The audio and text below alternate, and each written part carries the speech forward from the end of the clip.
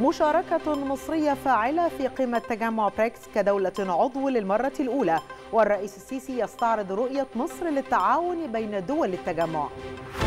مصر تواصل جهودها للتوصل لاتفاق لوقف إطلاق النار بغزة بلقاءات مكثفة مع جميع الأطراف. ميقاتي يعتبر العدوان على الصحفيين في حصبية فصلا من فصول جرائم الاحتلال. وبلينكين يؤكد ضرورة التوصل لحل دبلوماسي للصراع في لبنان. الثالثة مساء بتوقيت القاهرة. الثانية عشر بتوقيت جرينتش. نشرة إخبارية مفصلة تأتيكم من التلفزيون المصري. أهلا بكم.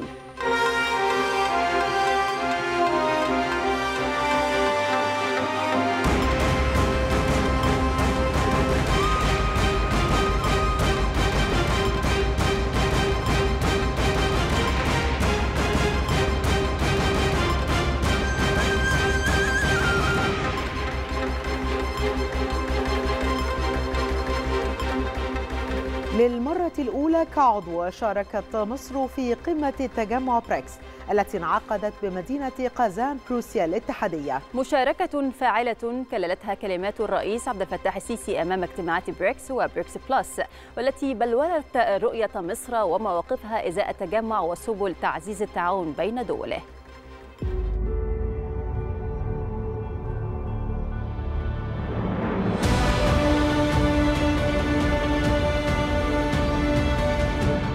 تؤكد مصر أهمية دفع أطر التعاون في مجالات التسوية المالية بالعملات المحلية واستثمار الميزات النسبية لدول التجمع لتدشين مشروعات اقتصادية واستثمارية وتنموية مشتركة.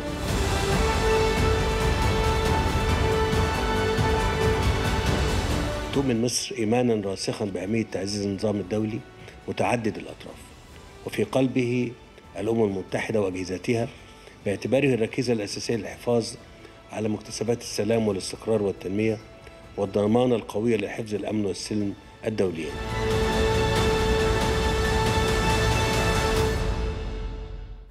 عاد الرئيس عبد الفتاح السيسي إلى أرض الوطن بعد المشاركة في قمة تجمع بريكس التي انعقدت بروسيا الاتحادية. كان الرئيس السيسي قد شارك في جلستي عمل في إطار فعاليات قمة دول تجمع بريكس كما شارك الرئيس السيسي في قمة بريكس بلس والتي تضم بالإضافة إلى الدول الأعضاء في بريكس الدول والمنظمات الدولية المؤثرة والصديقة للتجمع.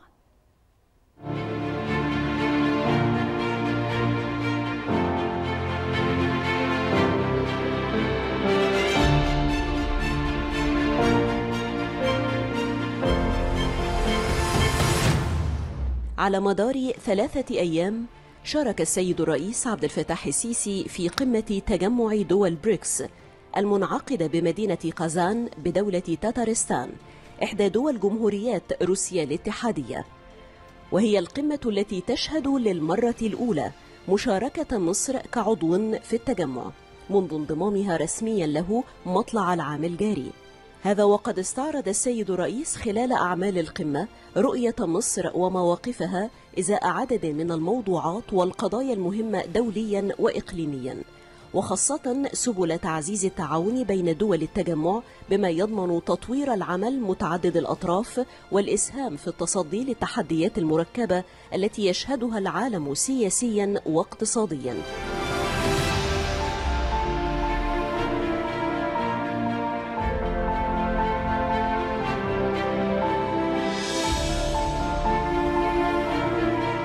وعلى هامش القمة عقد السيد الرئيس عبد الفتاح السيسي العديد من اللقاءات مع قادة وزعماء دول العالم.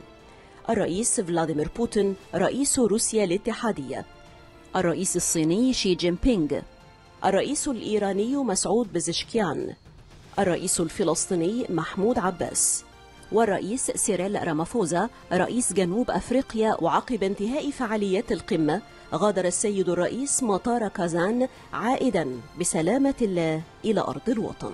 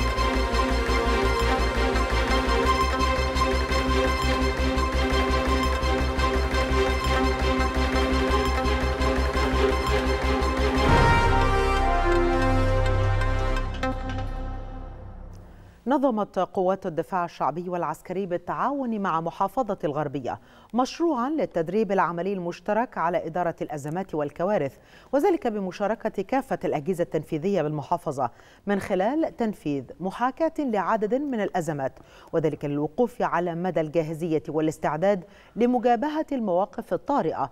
جاء ذلك في إطار حرص القوات المسلحة على دعم قطاعات المجتمع المدني والتنسيق المستمر مع كافة أجهزة ومؤسسات الدولة.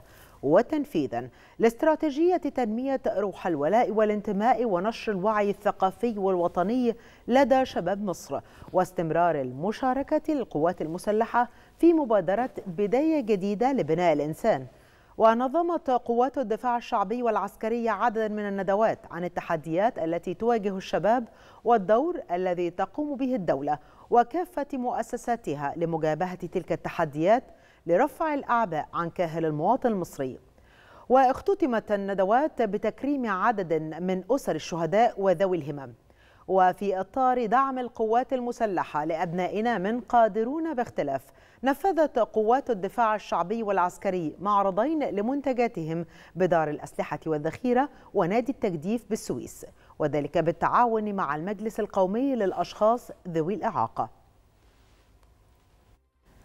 لطالما كانت مصر حصن القضية الفلسطينية على مر العقود ولا تزال جناحها الأمين الذي يحملها إلى كافة المحافل واللقاءات الدولية. فلسطين قضية العرب وقضية مصر الأولى على مر التاريخ ومن أجلها سطرت ملحمة سياسية وقانونية وإنسانية بدأت من السابع من أكتوبر عام 2023 وباتت محطتها تتزايد يوما تلو الآخر من أجل الانتصار لحقوق الشعب الفلسطيني وقضيته.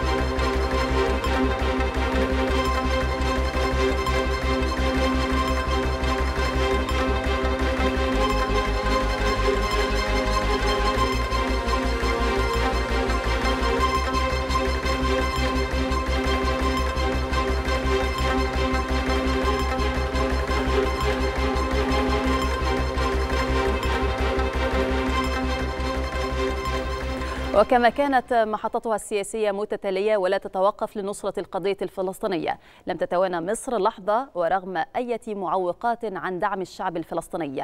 المزيد حول تلك الجهود نرصدها لحضراتكم في العرض التالي.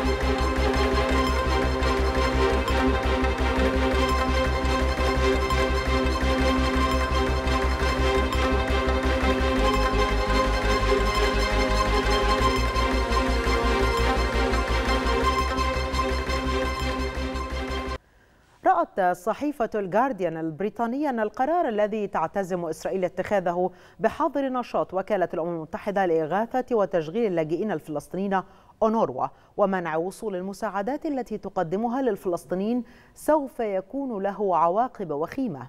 أشارت الصحيفة لأن القرار الإسرائيلي يجعل من الصعب عودة العلاقات بين الأمم المتحدة وإسرائيل إلى سابق عهدها موضحا أن عواقب ذلك القرار سوف تكون وخيمة وطويلة المدى. وأوضحت الصحيفة أن إسرائيل تستند في قرارها إلى اتهام أونروا بأن عددا من موظفيها تورطوا في أحداث السابع من أكتوبر الماضي على الرغم من أن المجتمع الدولي ما زال يرى أن أونروا هي الوسيلة الأفضل لتقديم المساعدات الإنسانية اللازمة للفلسطينيين والتي تشمل الخدمات الطبية والتعليمية والغذائية.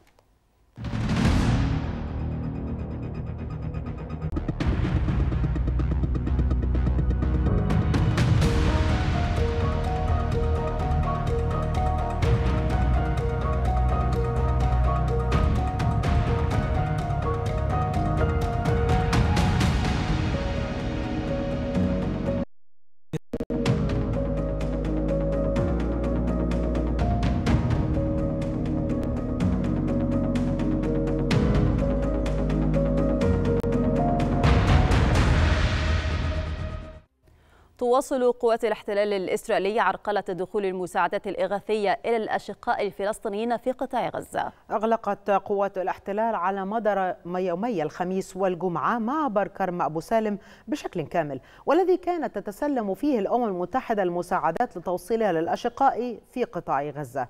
مزيد من التفاصيل يطلعنا عليها كريم بيبرز مراسل التلفزيون المصري. تحياتي لكم وتحياتي لجميع السادة المشاهدين. ما زلنا في متابعة مستمرة لنقل ملف المساعدات الإغاثية والإنسانية إلى الأشقاء الفلسطينيين في قطاع غزة.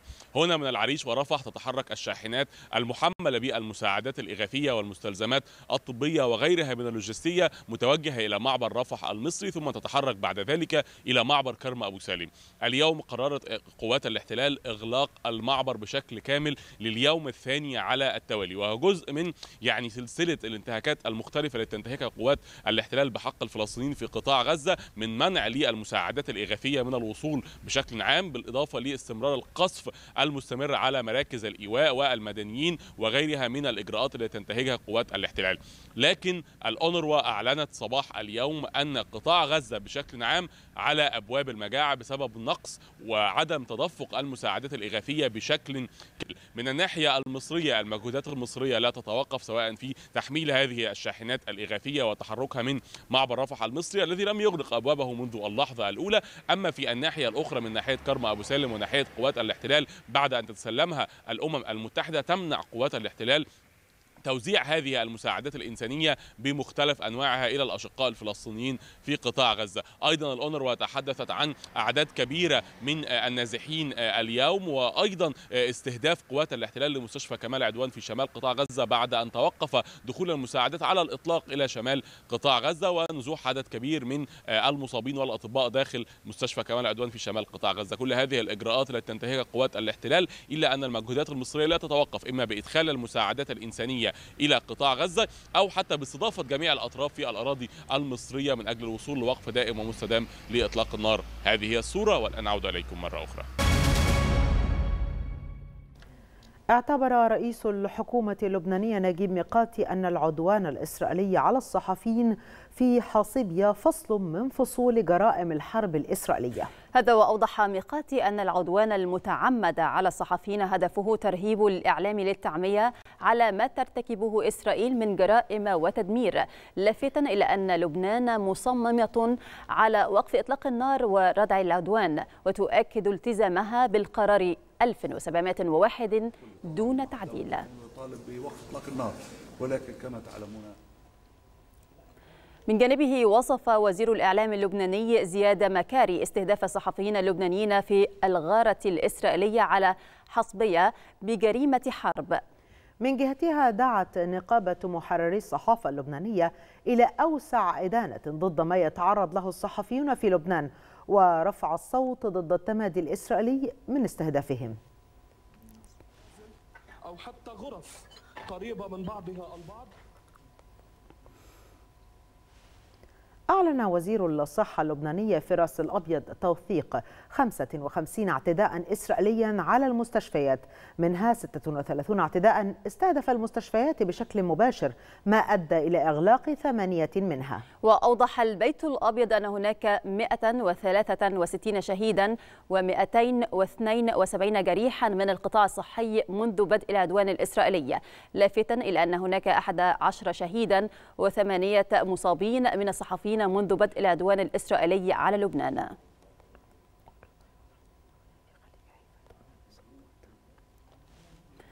أعلن جيش الاحتلال الإسرائيلي مقتل ضابطين وثلاثة جنود وإصابة عشرين بجروح في معارك جنوب لبنان. يأتي هذا فيما أفادت الجبهة الداخلية الإسرائيلية بإطلاق صفارات الإنذار في المالكية وديشون بالجليل الأعلى.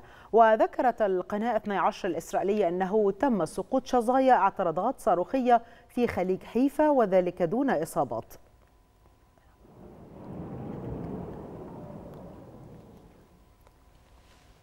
أعلنت قوات اليونيفال التابعة للأمم المتحدة أن جنودا إسرائيليين أطلقوا النار على قواتها في بلدة الظهيرة جنوبي لبنان. وأوضحت اليونيفال أن جنودها يؤدون مهامهم رغم طلب الجيش الإسرائيلي إخلاء مواقعها على طول الخط الأزرق.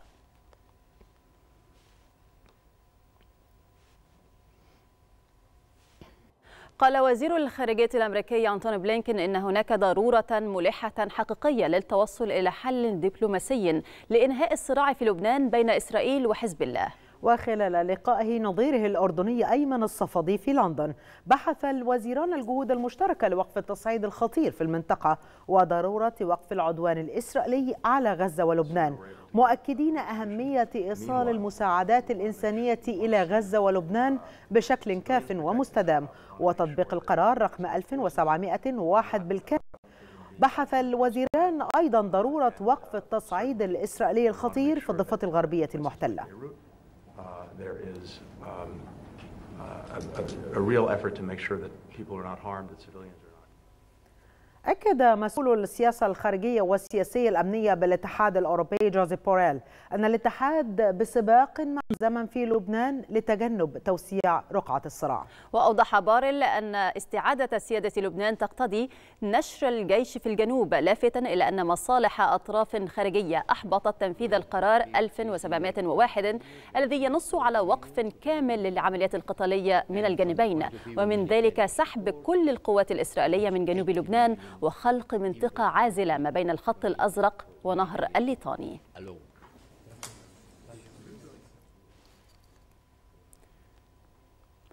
قالت المفوضية السامية للأمم المتحدة لشؤون اللاجئين إن الغارات الإسرائيلية على الحدود تمنع فرار اللاجئين من لبنان إلى سوريا. أضافت المفوضية أن نحو 430 ألف شخص عبروا من لبنان إلى سوريا منذ بدء الحملة الإسرائيلية مشيرة إلى أن الهجمات على المعابر الحدودية تشكل مصدرا قلق كبير فهي تقطع الطريق إلى بر الأمان أمام الفارين من الصراع.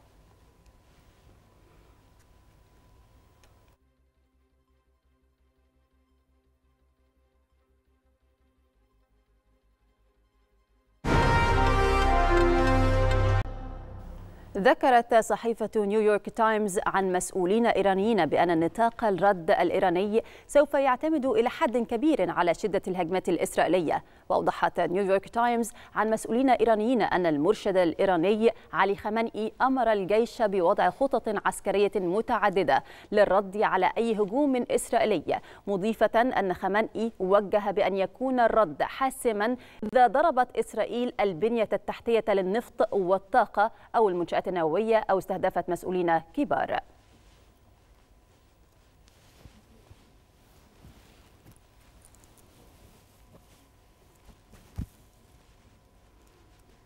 قال رئيس المجلس الأوروبي المنتهية ولايته تشارل ميشيل إن العلاقات بين الاتحاد الأوروبي وإسرائيل ستخضع لمزيد من التدقيق في المستقبل.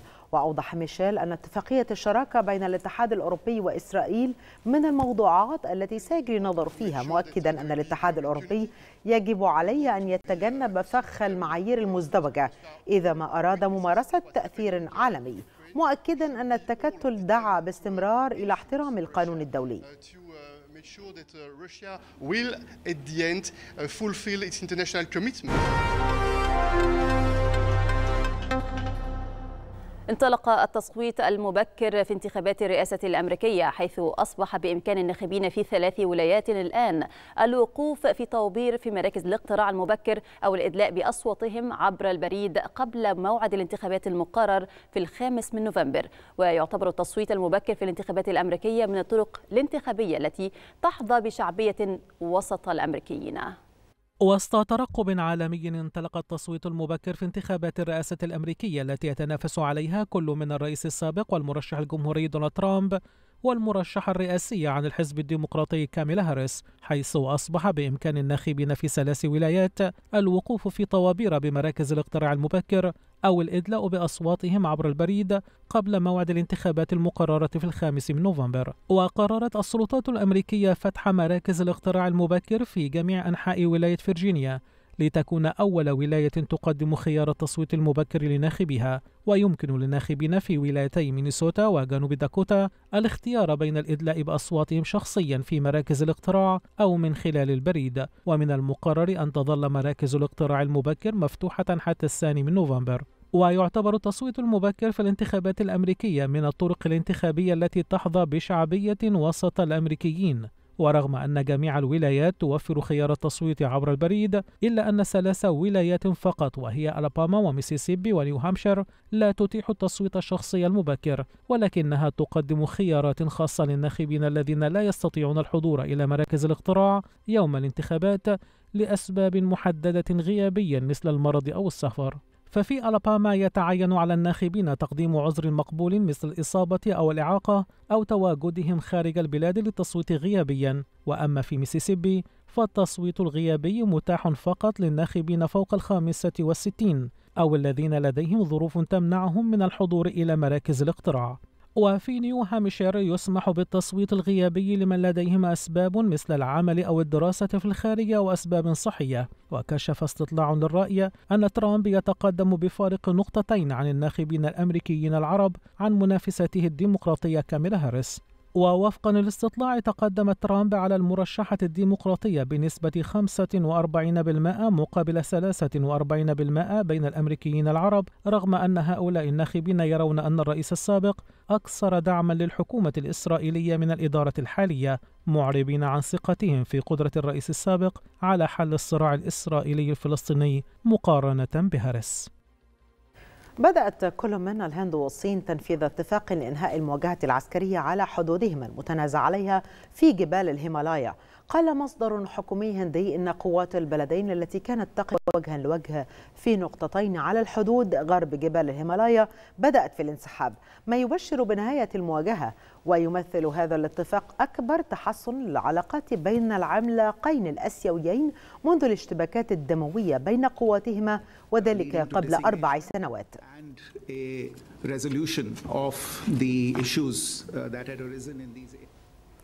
أكد الرئيس التايواني لاي تشانغ تي أن بلاده لن تتراجع في الدفاع عن أراضيها وقال لاي إننا لن نتخلى عن أي شبر من أراضينا في إشارة إلى الجزر الثلاثة التي تسيطر عليها تايبي جاء ذلك بعد مناورات عسكرية نظمتها الصين في وقت سابق في مياه مضيق تايوان.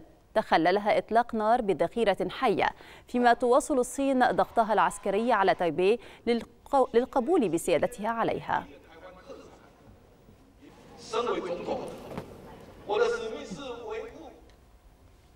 ارتفع عدد القتلى في الفلبين نتيجة للعاصفة المدرية ترامي وذلك إلى 46 قتيلا مع وجود 20 أخ في عداد المفقودين. فيما حذر المسؤولون من أن نمط الطقس قد يؤدي إلى عودة العاصفة لتجتاح البلاد بأمطار غزيرة ورياح عاتية من جديد الأسبوع المقبل. وذكرت هيئة الدفاع المدني الفلبينية أن الوفيات والإصابات التي تم الإبلاغ عنها حدثت بسبب انهيارات أرضية وفيضانات وحوادث أخرى ذات صلة بالعاصفة. أغلبها في منطقة بيكول وسط البلاد التي تعرضت لأمطار غزيرة.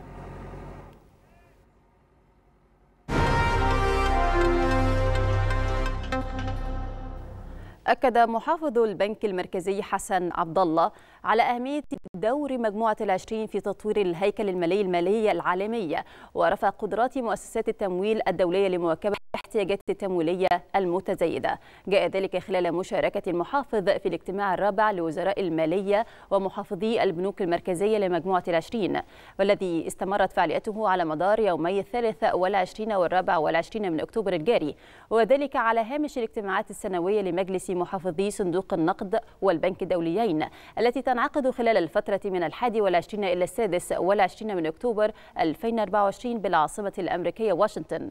وتناولت الاجتماعات العديد من القضايا الهامة على المستوى الدولي مثل الاقتصاد العالمي في ضوء المخاطر والتطورات الجيوسياسية وتعزيز النمو المستدام وتطوير المؤسسات التنموية متعددة الأطراف.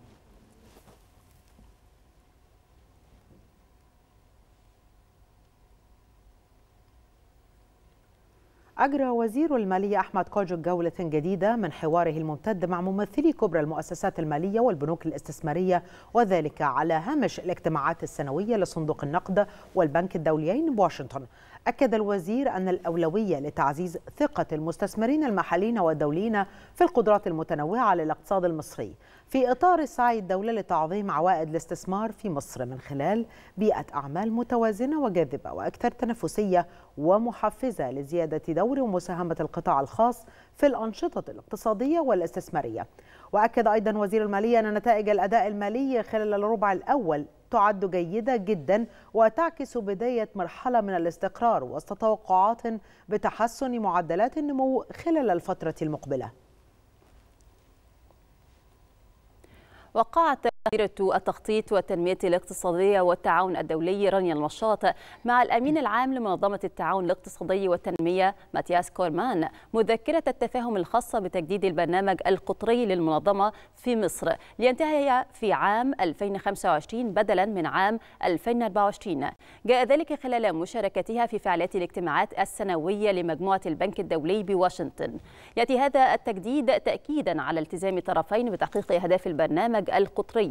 الذي يهدف إلى تعزيز قدرات الدولة في صياغة وتنفيذ الإصلاحات الهيكلية وفقا للمعايير الدولية. هذا وتشارك عشرون جهة وطنية في أنشطة البرنامج وتستفيد من مشروعاته.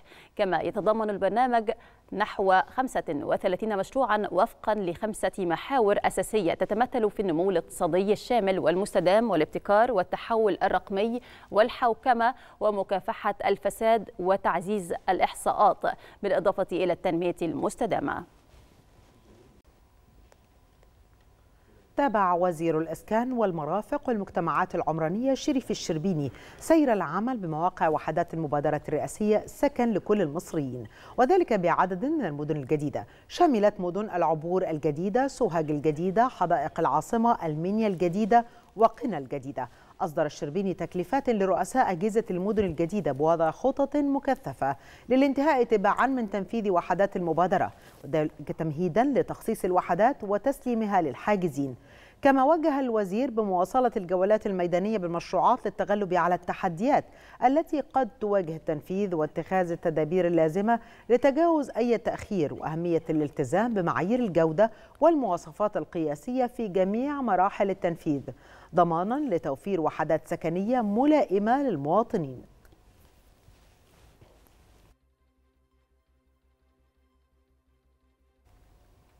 شهد وزير التعليم العالي والبحث العلمي أيمن عاشور والرئيس التنفيذي للهيئة العامة للاستثمار والمناطق الحرة حسام هيبة فعاليات ورشة العمل التي أقيمت بعنوان الاستثمار في التعليم العالي والبحث العلمي. يأتي ذلك في إطار تنفيذ سياسة الدولة التي تستهدف تيسير إجراءات الاستثمار والكشف عن المزايا الاستثمارية في كافة القطاعات حيث أكد عاشور أن منظومة التعليم العالي تشهد توسعا كبيرا بفعل الدعم غير المسبوق من جانب القيادة السياسية لاستيعاب الإقبال المتزايد على الالتحاق بالتعليم الجامعي لافتا إلى أهمية تقديم الجامعات برامج دراسية بينية حديثة تواكب متطلبات سوق العمل المحلي والإقليمي والدولي.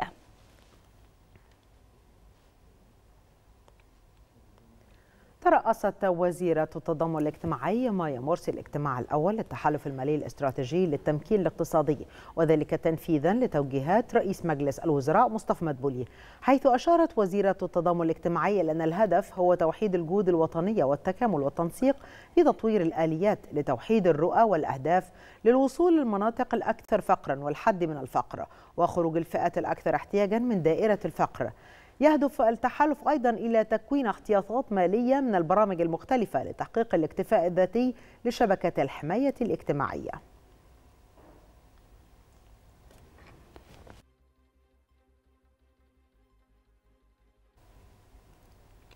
وقع رئيس هيئة الرعاية الصحية والمشرف العام على مشروع التأمين الصحي الشامل أحمد السبكي مع وزيرة الاستثمار والتعاون الدولي الأسبق والمدير التنفيذي لبيت الزكاة والصدقات سحر نصر. وقع بروتوكول تعاون ثنائي لدعم الجهود المشتركة بين الجهتين لتعزيز خدمات الرعاية الصحية المقدمة لغير القادرين بحضور فضيلة الإمام الأكبر الدكتور أحمد الطيب شيخ الأزهر الشريف. وأكد فضيلة الإمام الأكبر ضرورة تقديم خدمة صحية صحية مميزة للفقراء والمحتاجين وتوفير أحدث المعدات والأجهزة والمستلزمات الطبية لضمان التعامل مع الحالات الحرجة والطارئة. مؤكدا أن توجهاته الدائمة لبيت الزكاة والصدقات لاستثناء المرضى من الإجراءات الروتينية التي تستلزم وقتا طويلا لاستخراج موافقات العلاج لغير القادرين.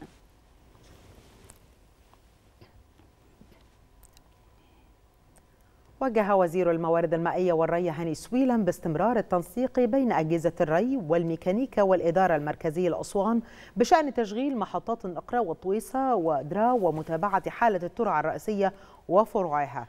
وخلال متابعته الموقف المائي بمحافظة أسوان وجه سويلم بإعداد خطة عاجلة لضمان مرور الموسم الشتوي بدون أزمات فضلا عن إجراء دراسة متكاملة لموقف تشغيل وصيانة المحطات وإمكانية التحول للري الحديث بوادي النقرة.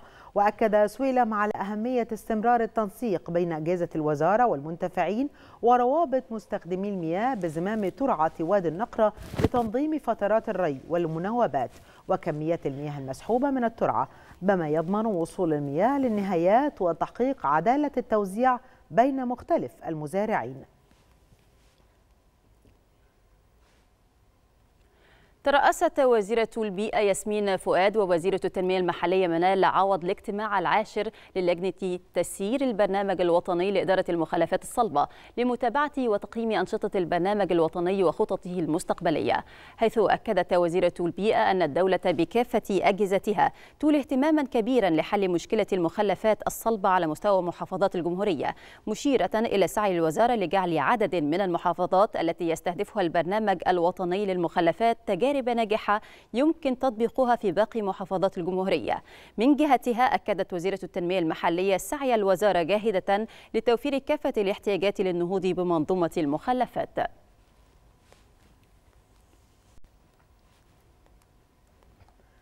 تابعت وزيرة التنمية المحلية منى العوض مع المدير الإقليمي لبرنامج الأمم المتحدة للمستوطنات البشرية رانيا هدايا آخر الترتيبات لاستضافة المنتدى الحضري العالمي في دورته الثانية عشر والمقرر انعقادها في الفترة من الرابع حتى الثامن من شهر نوفمبر المقبل. أكدت الوزيرة حرص الحكومة على خروج المنتدى الحضري القادم بصورة تليق باسم مصر. لافتة إلى أنه تم توجيه دعوات رسمية لعدد من الزعماء والقادة رؤساء الحكومات وبعض الشخصيات الدولية والوزراء ورؤساء الهيئات والمنظمات الدولية. كما وجهت بضرورة استمرار التنسيق بين كافة الوزارات والجهات المعنية للانتهاء من جميع الإجراءات الخاصة باستضافة المنتدى.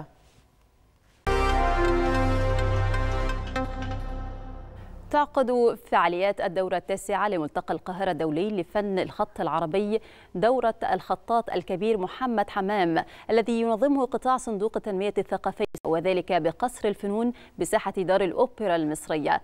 ويعقد ملتقى القاهرة التاسع لفن الخط العربي بالتعاون مع قطاع الفنون التشكيلية برئاسة الدكتور وليد قانوش. والجمعية المصرية للخط العربي يحمل شعار بناء يتجدد.